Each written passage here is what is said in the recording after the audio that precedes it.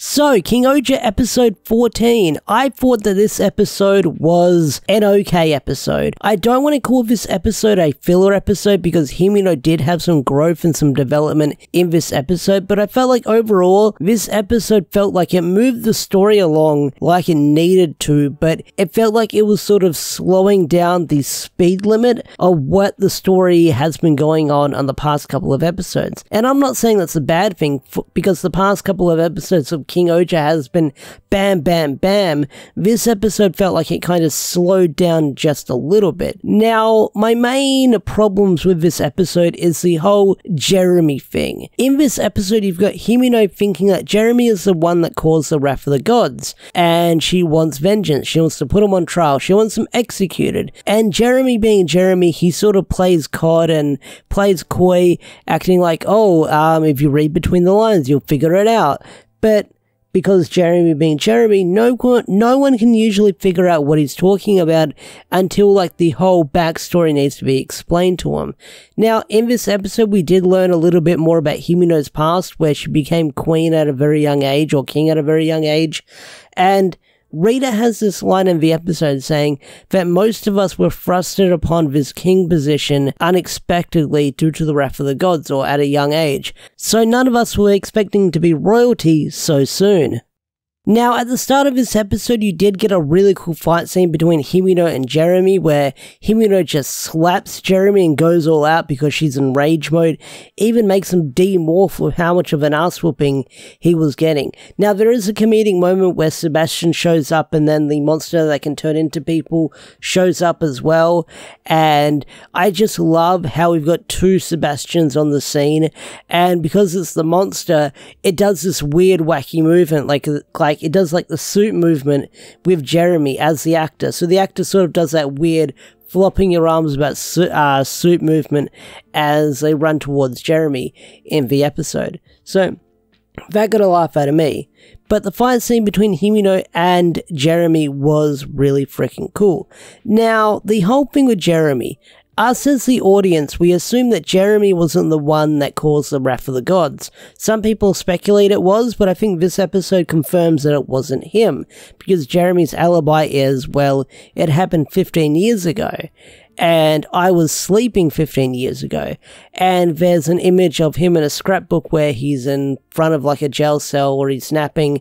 And Jeremy says, I was napping for that entire year when the wrath of the gods happened. So that's his alibi that he was around, but he didn't cause it, which was something we all assumed what happened. So we don't know who got control of God's cicada or how they were using it back in the day. Now, they could really sweep the rug from under us and say that Jeremy was actually there the whole time, but they've kind of already established Jeremy's alibi in this episode.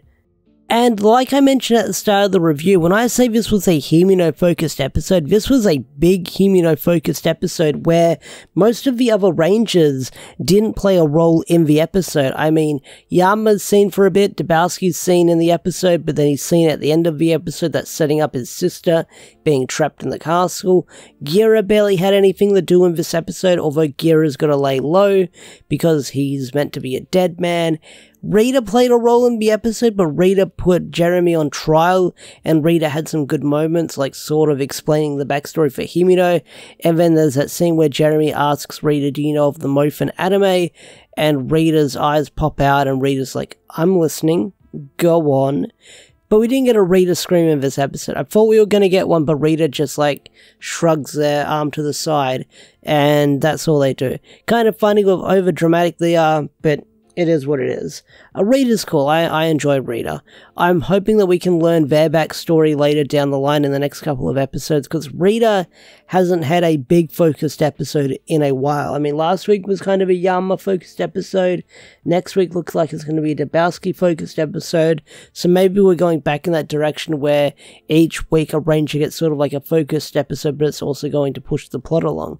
You never know. Now, this episode is also called Together with Moffun And with a title like that, I can tell that this review is probably going to bomb, so I might have to make a really good thumbnail. Now, we learn that the Moffun anime was actually made by the citizens of Ishabana to cheer up their queen after the Wrath of the Gods happened. And in a way, it's to thank their new queen to show that the citizens will always love her like Moffun does. And that's a really nice, wholesome thing that they did in this episode.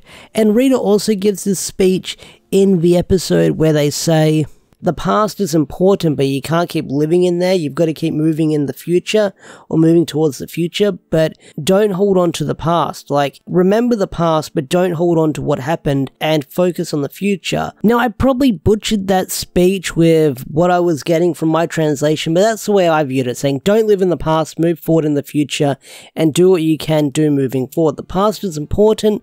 We can't forget about it, but we've got to move forward towards the future. But like I said, this episode, it was okay. Hymeno had some really great moments, and in this episode, we saw the Shugods make their grand return. Uh, we've also had a moment where Hymeno thought that uh, Jeremy was holding the Shugods hostage or taking them from their will, but because Gira can talk to him, Gira's like, nah, they're all friends, they all get along, they wanted to go. But at the end of the episode, you have this cool moment where the monster of the week was this kung fu bug fighting monster. Had a really cool design. I feel like they might have used one of the old Shinkenger helmets for like the faceplate. It looks like they sort of extended the kanji that they used on those Shinkenger helmets to sort of add it to the new bug costume. I could be wrong, but that's what I thought with what they did with one of the costumes for the bug monster. Now, at the end of the episode, you saw God Tarantula in the episode. He hasn't transformed yet, they're saving that for next week, it looks like. But we actually don't get to see any of the mechs transform. We don't get to see King Ohger form. But what we see in this episode is all the insects, all the Shugods, team up together to defeat the monster of the week. No mech combination, they just wail on this one monster of the week. But the monster of the week that can turn into other people. It looks like that character is sticking around because Jeremy wants to be the sixth king and rule over the entire kingdom, where he can make a kingdom where everyone lives in harmony. So it feels like that this bug character that can turn into other people and sneak around will probably be sticking around for a little bit longer, which I'm curious to see where that's going to go moving forward if this monster of the week is going to stick around. But the episode ends with Dybowski giving information to Racules, and Racules is like, oh, we could use Jeremy if he comes to our side. And then Dybowski asks, how's his sister doing? And Racules is just fine. And then we see her at the end of the episode in the castle, and she's staring at the night sky, and that's where the episode ends. So, overall, like, average episode, nothing too mind blowing. I don't want to call it a filler episode because, like I said, Hymeno got some development in the episode, which was really nice. There's that scene where the person who was watching the Moffun anime catches Jeremy and she says, What's your. Uh, Hymeno asks, What's your reward? And she says, I just want you to keep protecting our citizens and keeping this country beautiful. And that was a nice little moment in the episode. But yeah, this episode was okay. Like as like I feel like it was a good ep- it was an alright episode. wasn't bad, wasn't good. It was okay. Maybe my thoughts will change upon it with other viewings and when I binge the show later down the line. But I don't want to call this the weakest episode.